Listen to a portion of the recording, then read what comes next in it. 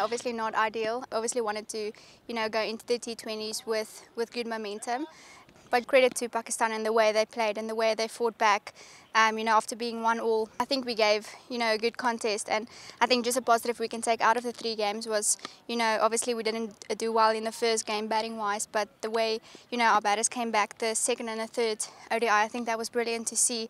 Um, and I think all of the batters have huge confidence going into the T20s. I think it was a very important series for us. Uh, we felt very good after the series. Uh, we know how important the series for us. We just want this team to grow and going upwards. And I think uh, we're doing really good things.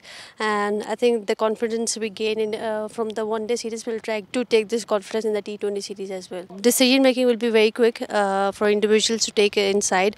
I think uh, we have to be very proactive as bowlers as batters as.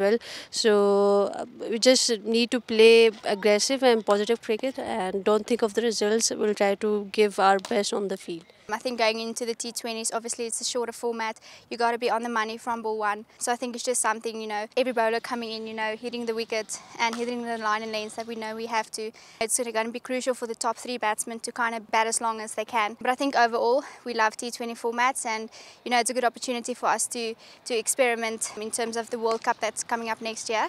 Um, but obviously just taking it one game at a time. It's basically a mindset for us. I always say it's 80% mental and 20% skill. So for myself, just to go out there and just quickly get the change up between the 50 over and the T20. Obviously, it's a short format. And obviously, we love the adrenaline. Like the girls, they love the T20 format much better than the ODI series, like some of the girls.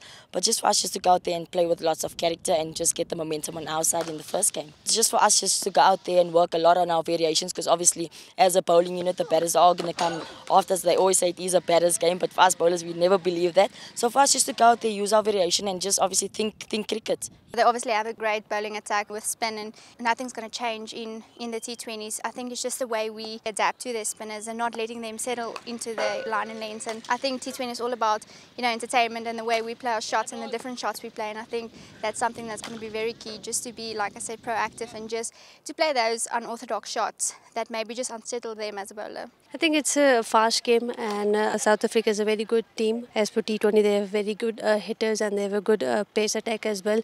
So it will be a challenge for us. Uh, we'll try our level best to give our best on the field, and inshallah, we'll try to uh, keep the result in our hands. Maybe we win. Yeah, I think it's a bit difficult with injuries, you know, leaving Dane van Niekerk out of the side. We obviously want to get that winning formula and, you know, get that winning combinations. But nonetheless, I think just going into this 5 T20s is a good opportunity for us to experiment and to see just more or less what the batting lineup's going to be like and, you know, the bowlers, who's going to bowl when, who can open, who can bowl death and all that kind of stuff. But, you know, the World Cup's still a long way and anything can happen between now and then. But it's just a good opportunity for the girls just to showcase their talents and just to, you know, put their hand up for the selectors, just to say that we are here and we are ready for the World Cup.